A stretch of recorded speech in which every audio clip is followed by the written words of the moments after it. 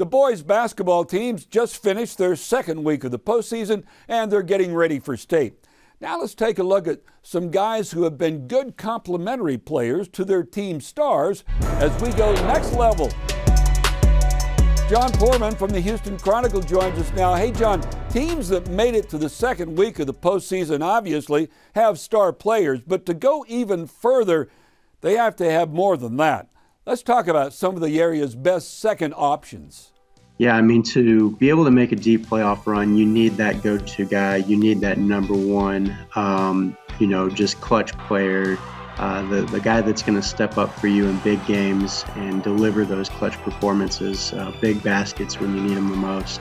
Um, you know, but you also have to have, you know, a complement of players around that guy.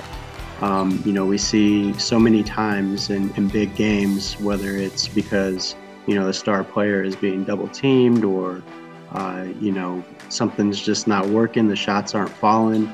You need that second guy to be able to step up uh, and deliver and, and, take over a game as well. And that's what we've seen so far in the Houston area playoffs. Uh, you know, we have guys like at Fort Bend Marshall, Chris Catchings, uh, you know, he's a six foot six junior, has the ability to kind of take over a game.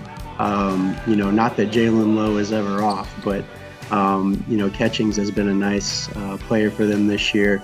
You know, I look at six foot seven uh, senior Noah Martin over at Cypress Creek. He makes a makes for a great duo with Corey Hadnot second.